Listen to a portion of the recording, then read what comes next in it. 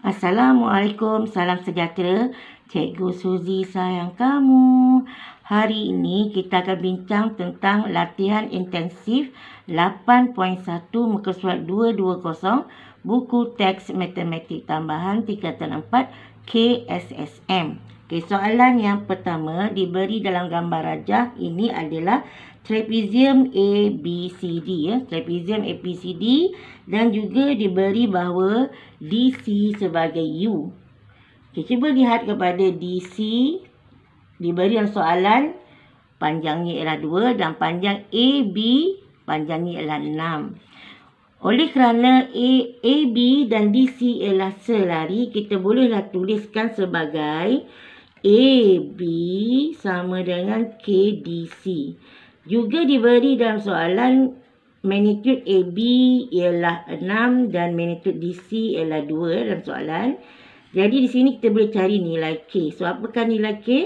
Nilai K adalah 6 bahagi 2. Kita dapat K sama dengan 3. Selepas kita dapat K sama dengan 3, kita gantikan dalam AB. So AB sama dengan 3 DC. Eh? 3 DC. Di, kita telah diberitahu bahawa DC itu ialah U. So, kita gantikan AB sama dengan 3U. Jadi, sekarang kita telah pun nyatakan AB dalam sebutan U. So, beginilah caranya untuk menjawab soalan nombor 1. Baiklah, sekarang soalan yang kedua. Sekali lagi kita diberi satu gambar rajah. Ya diberi bahawa AB dan DC selari. AB dan DC adalah selari. Juga diberi dalam soalan DC sama dengan 1 per 3 AB. Uh, maka juga di dalam soalan diberi DC sama dengan 4. Ya. DC sama dengan 4. So kita akan gantikan lah. So di, yang ini diberi DC sama dengan 1 per 3 AB. Maka kita gantikan DC dengan 4. So sama dengan 1 per 3 AB. Maka panjang AB itu dapat berapa? 4 darab 3, 12. Jadi kita telah pun dapat magnitude bagi vektor AB iaitu 12. Seterusnya kita nak jawab soalan B. Dalam soalan B, dia minta kita carikan vektor EC dalam sebutan A. Tetapi diberi dalam soalan AE sama dengan 6. A, E, 6. E, C dah tahu. Tetapi kita tahu bahawa nisbahnya adalah 1 per 3. Bermaksud A, E adalah 3 kali ganda E, C. So, 3 E, C sama dengan 6 A. Kita kan kita jadikan E, C sama dengan 6 A bahagi 3. Maka E, C nilainya ialah 2 A. Untuk B diberi ED sama dengan 2B. Manakah ED? ED ialah 2B. Sekali lagi kita tahu bahawa nisbahnya ialah uh, BE dan EB adalah 3 kali ganda uh, DE. Tetapi kita nak cari BE. Eh? BE. Kita tahu ED. ED diberi sebagai 2B. So kita nak cari BE. Bermaksud ED sama dengan 1 per 3 BE. Jadi, 1 per 3 BE sama dengan 2B. BE sama dengan 6B. So, jadi beginilah caranya kita menjawab soalan nombor 2. 2A dan 2B.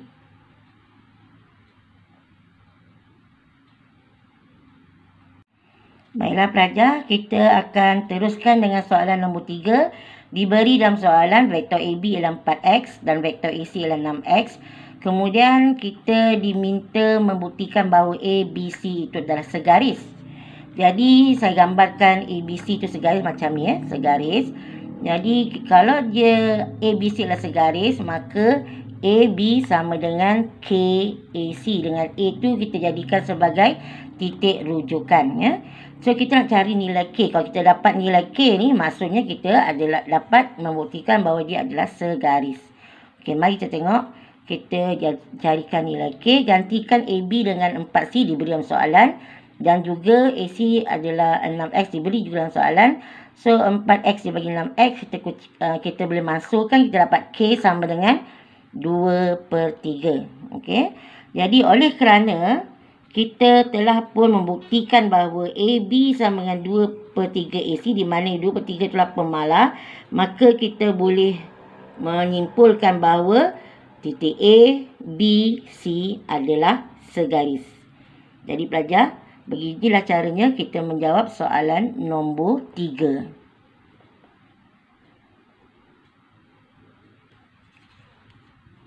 Sekarang mari kita lihat soalan nombor 4 diberi vektor A, vektor B dan uh, adalah bukan sifar dan juga tidak selari. Ini adalah petunjuk yang besar di sini. Buk, vektor A dan B bukan sifar dan tidak selari. So, jadi ada cara untuk menyelesaikan soalan sebegini. So, diberi dalam soalan ialah H tambah KA sama dengan H tolak K tambah 1B.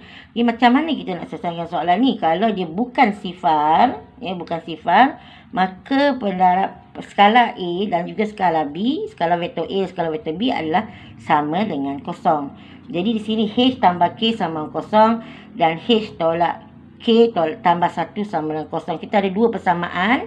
So, kita akan cuba buat kali ini persamaan serentak. Sebelum ni, cikgu gunakan keadaan gantian. Hari ini, cikgu gunakan keadaan persamaan serentak iaitu memasukkan salah satu unknown. Okay, di sini unknownnya ialah H dan juga K.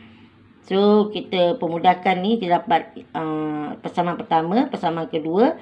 So, kita boleh masukkan K dengan menambahkan kedua-dua persamaan. So, H tambah H ialah 2H.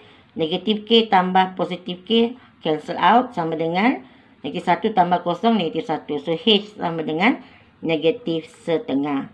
Jadi, sekarang kita dah tahu dah nilai H sama dengan negatif setengah. Kita akan masukkan dalam persamaan ni sebelah sini ya.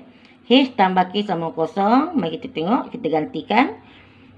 Gantikan H dengan negatif setengah yang kita dapat tadi. Kita dapat tadi kan. Kita masuk sini. Tambah K sama kosong. So, apakah nilai K? Nilai K ialah 1 per 2. Jadi begini caranya untuk menyelesaikan soalan nombor 4. Cuba tengok semula.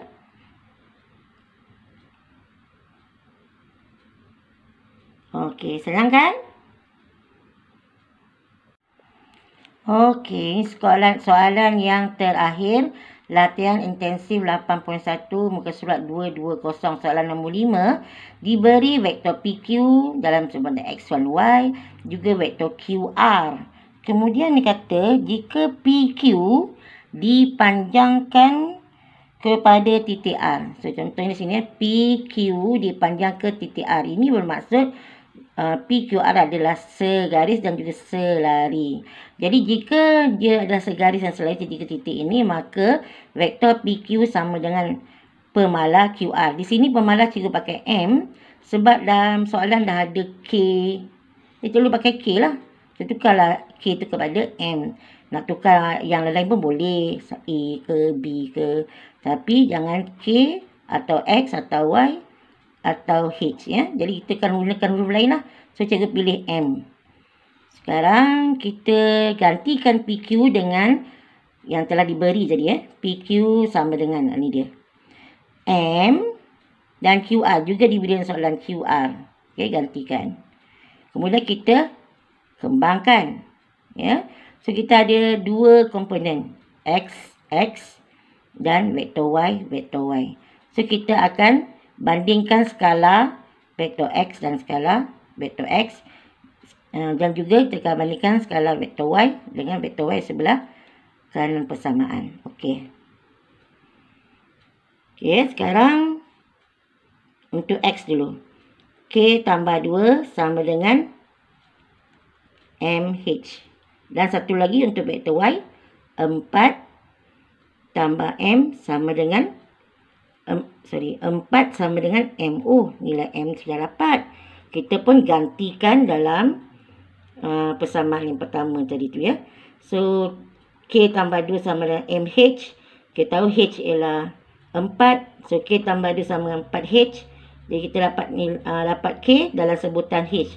Jadi K sama dengan 4H tolak 2. So, sekarang kita tahu nilai M. Kemudian kita gantikan. Kemudian kita dapat nilai K dalam sebutan H. Jadi, begininya, beginilah kita menyelesaikan soalan nombor 5. Ya. Ini semua dah, dah dalam soalan. So, kita gambarkan, kemudian kita selesaikan. Okey, itu saja. Cikgu harap kamu bersesuai dengan bersungguh-sungguh. InsyaAllah, kejayaan di dalam tangan kamu. Itu saja. Cikgu Suzy sayang kamu. Assalamualaikum. Salam sejahtera.